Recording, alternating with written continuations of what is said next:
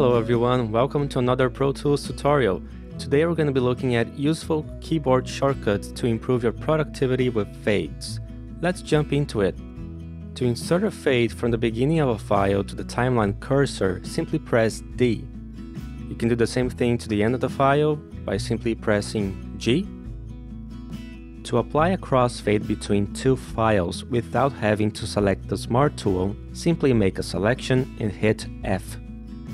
If you want to modify the shape of a fade, select it and press Command F to open the Fade toolbox.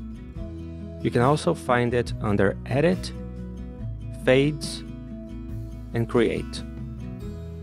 To select the in-shape mode, simply hit the up and down arrows. To switch between the curve types, simply press left and right. To alternate between the slope types, hold Option and hit the up and down arrows. You can also save fade presets and to switch between them, hold Ctrl and press 1, 2, 3, 4 or 5. Now, when you open the Fade toolbox for a crossfade, the controls change a little bit. The up and down arrows will switch between the slope type, in this case link in and out. When you hold option and move up and down, you will switch between the in and out shapes, provided that you have either equal power or equal gain selected. If you choose none as your link in and out, the controls will change as well. When you hold option and move up and down, you will switch between the in-shape modes. And when you hold command and move up and down, you will switch between the out shape modes.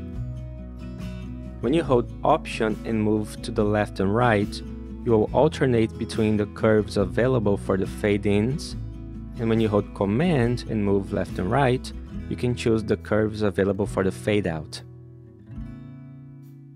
If you want to copy the exact same length of this fade and paste it downwards or upwards, make a selection and hit semicolon to go down or P to go up.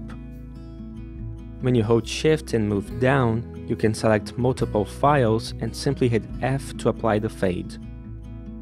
But what if you have this fade shape right at the top, and then you move down, press F, and realize that the fade shape is different? Well, you can simply hit Command F again to open the fade toolbox, select the shape you like, and there you have it. You can do the same thing here, or you can alter all of them together, just like that. And finally, you can just make a selection. Let me copy this down here. And instead of hitting F and only then opening the toolbox, I can just do it right away. Anyways, that's pretty much it for fades. I hope this video was helpful to you. If you have any further questions, please let me know down in the comments. And as always, I wish you have a great day, and I'll talk to you soon.